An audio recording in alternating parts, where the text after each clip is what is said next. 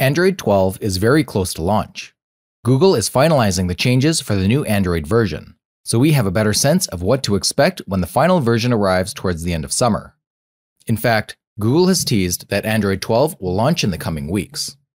Android 12 is undoubtedly the biggest refresh to the operating system in years, and, now that we're into the fifth public beta, that means we're getting an even more clear in-hand picture of what the final software will end up like. In fact, this is the latest beta version. Before we start, please do not forget to like and subscribe. It will help us a lot. Android 12 Refreshed UI Android 12 now automatically chooses a set of correlative color palettes across the system UI based on the colors used in the phone's current wallpaper. The colors will apply uniformly across elements such as the lock screen, quick settings, notification panel, and even the newly added adaptive widgets. Google says the color extraction system uses a clustering algorithm with material color targets to determine the dominant and less dominant colors and then applies hues to match your wallpaper. A rich palette of five colors, two neutral and three accent colors, and 12 shades of material color can be used to determine the closest hues to the user's wallpaper. Apps can then grab Android system color from an index into the color palette and use it in many different subtle ways. Widgets can even use the color extraction feature to harmonize with the user's theme on the home screen. Notifications. Notifications have undergone something of a design overhaul too. The style of notification windows has changed, and they're automatically grouped per app, or separated out if they're not conversational. Also, there's an easy new snooze control that you simply tap to snooze, rather than having to swipe on the notification.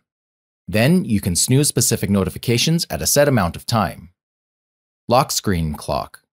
The first thing you'll likely notice the first time you power up a phone running Android 12 is the new lock screen clock. With your phone clear of notifications, a large digital clock takes up pride of place right in the center of the screen. Quick Settings Shade. When you drop down Quick Settings and notifications from the top of the screen, you'll no longer see those little round toggles. Instead, they've been replaced by much larger rectangle controls, similar to those we saw in Android 11's power menu for controlling smart home devices. What's interesting here is the color scheme. With Beta 2, Google enabled a feature that allows it to pick a color automatically based on whatever wallpaper you have. So if your wallpaper is predominantly pink and purple, the quick settings shade will be 2, or green if your wallpaper is green, and so on. Customizing and theming. Theming is a major part of Android 12's new feature list. In the customization window, you can choose to have the colors of your wallpaper determine the accent and background colors of the entire feature. It also allows you to toggle on a themed icons feature, which transforms your icon apps to color-matched ones as well. Android 12 Privacy and Security Privacy Dashboard One of the major new official changes is the Privacy Dashboard. It'll give you easy access to see what apps have accessed certain permissions, whether that be your camera and mic or location. What's more, when you first launch an app and it wants access to your location, you can decide to have it only get access to an approximate location rather than precise. For apps that require location data, Android 12 will also offer a new setting that will allow you to share your approximate location with the app instead of your precise location. This setting will show up within the location permission pop-up you're probably already familiar with. Android 12 will also include new toggles in the quick settings to help you quickly disable camera and microphone access for all apps with a simple tap. These toggles will initially be limited to Pixel devices, but they'll make their way to other phones too. App Hibernation Android 12 also includes a new feature called App Hibernation. App Hibernation allows you to put apps in a hibernation state if they were not actively being used. Apps that are put into a hibernated status will optimize their storage usage and their permissions will be revoked. Apps that aren't used for several months will be put into this hibernation state, although users can quickly toggle this feature on and off if they don't want their unused apps to go into hibernation. To get an app out of hibernation, you just need to run it normally. PIN code keys. When you swipe to unlock the phone, you'll notice a fresh design for the PIN code keypad.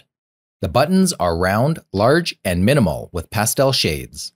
We suspect the same design will eventually feature on the phone's dialer too.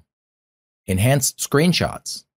Take a screenshot and head to the Edit Markup function, and you can now type text onto your screenshots in a number of different font colors. Plus, you can stick some emojis on there if you want by pressing the little sticker icon. You can resize them easily too, just by pinching to zoom. As a side note to that, you can now easily dismiss screenshot thumbnails by swiping them off the screen. Simple. Google is adding native scrolling screenshot support to Android 12. First introduced in Beta 3, the new scrolling screenshot feature lets you capture larger images of the current page you're on. Just take a screenshot like you normally would and tap the new Capture More button to screenshot more of your screen. Afterward, you can edit and crop the screenshot to your heart's content. Nearby Share for Wi-Fi passwords. This is a potentially handy feature that lets you quickly share your Wi-Fi network's details with people in the same room as you. So while you could share your Wi-Fi using a QR code scanner before, if you look beneath that in Android 12, you now get the option that says Nearby. Tap on it, turn on Nearby Sharing, and then it'll look for devices near you to share details with.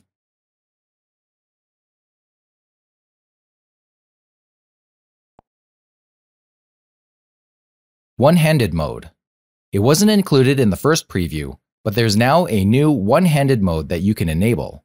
It made its first appearance in the second developer preview and could make using larger screen phones a lot easier in the future. When it's active, all you have to do is drag down from the bottom edge of the phone and it brings the app you're viewing down halfway to make the top of it easier to reach. New picture-in-picture -picture controls.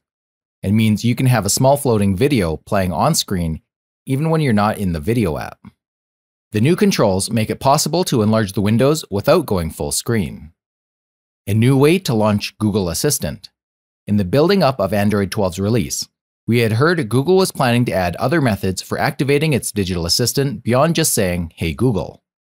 Google confirmed that a long press of the home button now launches Google Assistant, and it looks like Google has removed the old swipe from the corner gesture triggering Assistant in Beta 3 on device search with App Search. Searching for things on your Android device is about to get much more powerful.